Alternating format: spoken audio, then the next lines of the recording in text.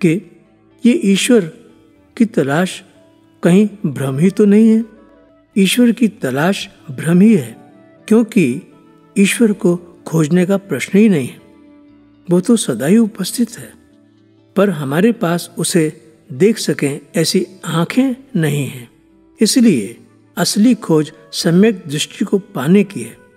एक अंधा आदमी था, वो सूरज को खोजना चाहता था। वो खोज गलत थी। सूरज तो है ही। आँखें खोजनी है।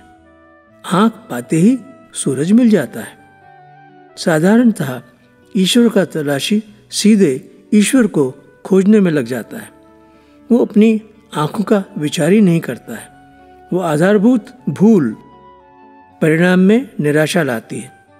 मेरा देखना विपरीत है। मैं देखता हूँ कि असली प्रश्न मेरा है और मेरे परिवर्तन का है। मैं जैसा हूँ, मेरी आँख जैसी है, वही मेरे ज्ञान की और मेरे दर्शन की सीमा है। मैं बदलूं, मेरी आँखें बदलें, मेरी चेतना बदले तो जो अभी अदृश्य है, वो दृश्य हो जाता है। और फिर, जो हम अभी देख रहे हैं, उसकी ही गहराई में ईश्वर उपलब्ध हो जाता है। संसार में ही प्रभु उपलब्ध हो जाता है।